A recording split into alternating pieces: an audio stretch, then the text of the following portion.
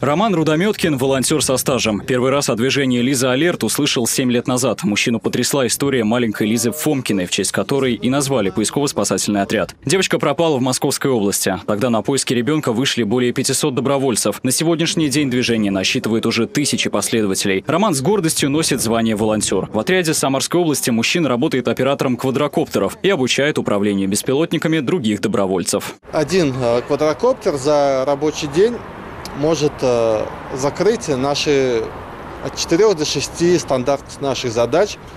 Э, на каждую задачу, если бы это выходила пешая группа, потребовалось бы от 6 до 8 часов. В Самарской области отряд «Лиза Алерт» появился в 2014 году. За время работы волонтеры получили более 5700 заявок. Домой были возвращены 4470 человек, из которых 1062 – дети. Сейчас движение объединяет около 200 добровольцев, которые регулярно участвуют в поисках. Благодаря помощи правительства и главы региона Дмитрия Азарова были выработаны новые меры поддержки добровольчества. Открыли ресурсный центр поиска пропавших людей Самарской области. И с помощью этого штабы основали основали в Тольятти, Новокуйбышевске, Сызрани и Сергиевске. Мы взаимодействуем с МВД, с МЧС, с а, муниципалитетами, с главами администрации районов. Совсем недавно у нас был заключено соглашение с одним, первое соглашение с одним из МФЦ Самарской области о местном распространении информации о поисках без пропавших. И на данный момент времени на экранах МФЦ Волжского района уже транслируется такая информация.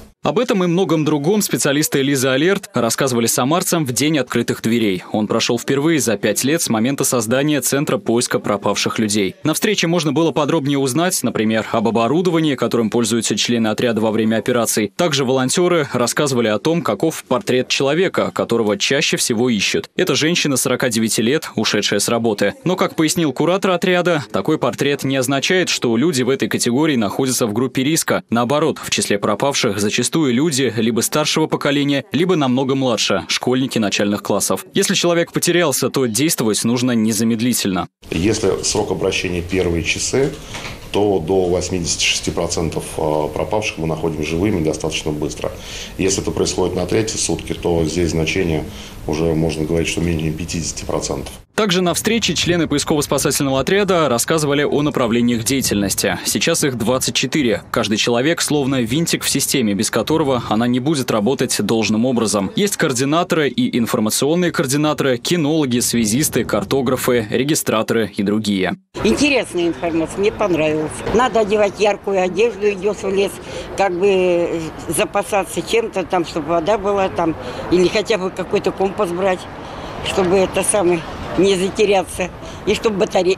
батарейка была не, это, не разряжена. Отряд «Лиза Алерт» приглашает самарцев и жителей региона присоединиться к движению. Благодаря уникальному проекту «Будь с нами» новичкам преподают все азы поисковой работы. Чтобы стать добровольцем, необходимо зарегистрироваться на портале добро.ру и на странице проекта «Лиза Алерт» подать заявку на вакансию «Поисковик». Необходимый адрес вы видите на экране. Проект «Будь с нами 2023». Этот проект два года назад выиграл конкурс э, лучших региональных практик в поддержке добровольчества «Регион добрых дел». Был создан проект, чтобы э, расширить наши возможности. И благодаря реализации проекта в прошлом году мы уже открыли пять штабов в пяти городах Самарской области. У нас там есть теперь добровольцы, которые есть, э, могут реагировать оперативно на поиск без вести пропавших. Движение «Лиза Алерт» продолжает работать и активно развиваться. Сейчас поисково-спасательные отряды также помогают защитникам в зоне специальной военной операции. Собирают гуманитарные грузы и в отделении их организации изготавливают, например, сухой душ. Все необходимое отправляют на передовую. Михаил Ермоленко, Григорий Плешаков. События.